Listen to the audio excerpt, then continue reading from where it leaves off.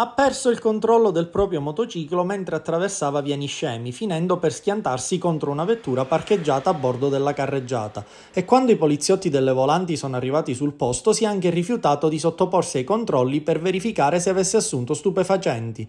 Una serata movimentata quella di ieri per il protagonista in negativo della vicenda, che è stato denunciato in procura per avere provocato un incidente stradale mentre guidava sotto l'effetto dell'alcol e per il rifiuto di sottoporsi agli accertamenti.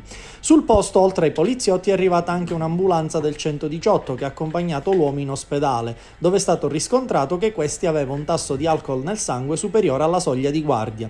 Dagli accertamenti è emerso anche che l'uomo guidava il motociclo pur avendo una patente diversa da quella prevista per legge e che il mezzo a due ruote non era stato revisionato. Quindi, oltre alla denuncia penale, sono scattate le sanzioni amministrative.